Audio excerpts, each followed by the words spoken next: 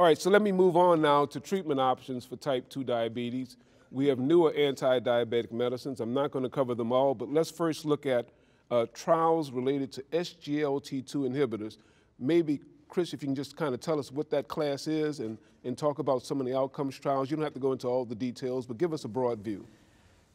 Well, this has been such an exciting time, uh, and the first of these trials was the EMPA-REG trial with empagliflozin, an SGLT2 inhibitor, inhibits this exchanger so that glucose goes out in the urine, but changes probably pressure in the glomeruli in the kidney, uh, you get weight loss, and lots of other beneficial factors uh, with the, the entire class.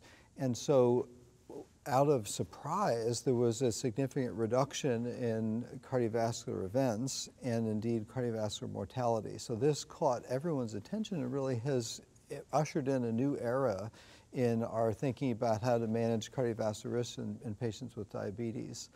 And it's been exciting to see, uh, you know, other trials show very similar effects. And so the CANVAS trial followed with canagliflozin, a little bit less dramatic on mortality, but same idea. And probably it's data falling in the confidence intervals of truth uh, there. And then most recently with dapagliflozin.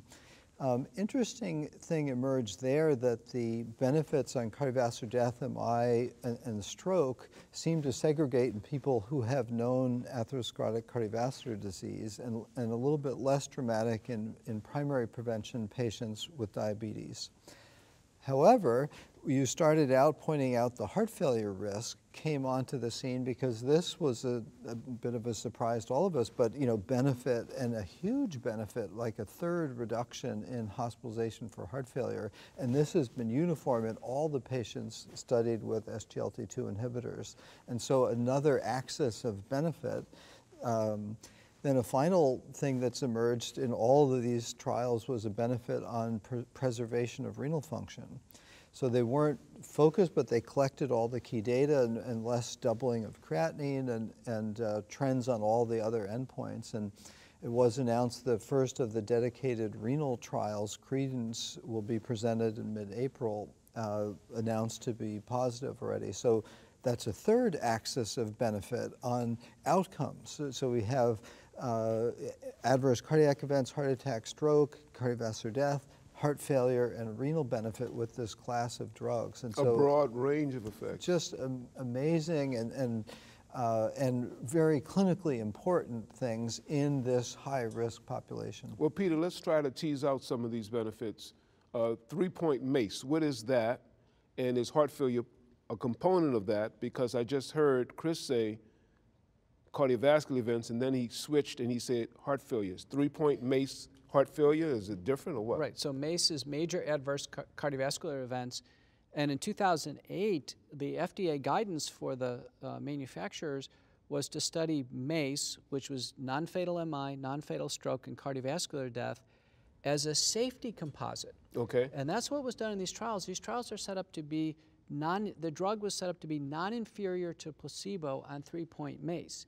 Now, fortunately, heart failure was an adjudicated other safety endpoint not included in three-point MACE. So that was not part of the three-point But it was adjudicated in these trials, and uh, I played a role in that uh, to make that become a reality. And, and as Chris pointed out, the big effect is on heart failure, and so the cardiovascular signal, the belief is, is really mediated through heart failure and not mediated through stroke or MI.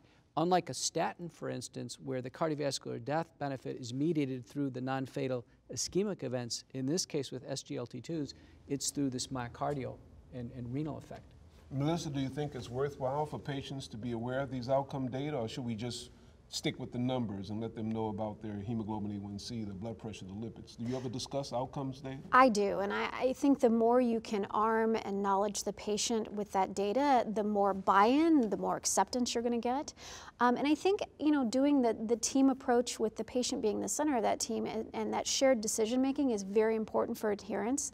And just explaining why we're choosing the agents we're choosing and the, and the pathways we're choosing um, really lends a lot to, to adherence and to people accepting more treatment.